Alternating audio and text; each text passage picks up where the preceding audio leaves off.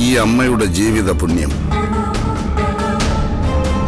ഇങ്ങനെ കാൽ തൊട്ട് വണങ്ങി മറ്റൊരു ദൈവനിയോഗത്തിനായി ഇവൾ മനസ്സുറപ്പിച്ചു കഴിഞ്ഞു. എപ്പോഴും നീ എന്നെ അതിശയിപ്പിച്ചിട്ടേ ഉള്ളൂ. ഇക്കാര്യത്തിലും അങ്ങനെ തന്നെ. പക്ഷേ മറിഞ്ഞിരുന്ന് ഈ കൗശലക്കാരൻ ഇവന്റെ മനസ്സിളക്കി എല്ലാം തച്ചുടയ്ക്കാൻ ഇവനെ തന്നെ ആയുധമാക്കുന്നു.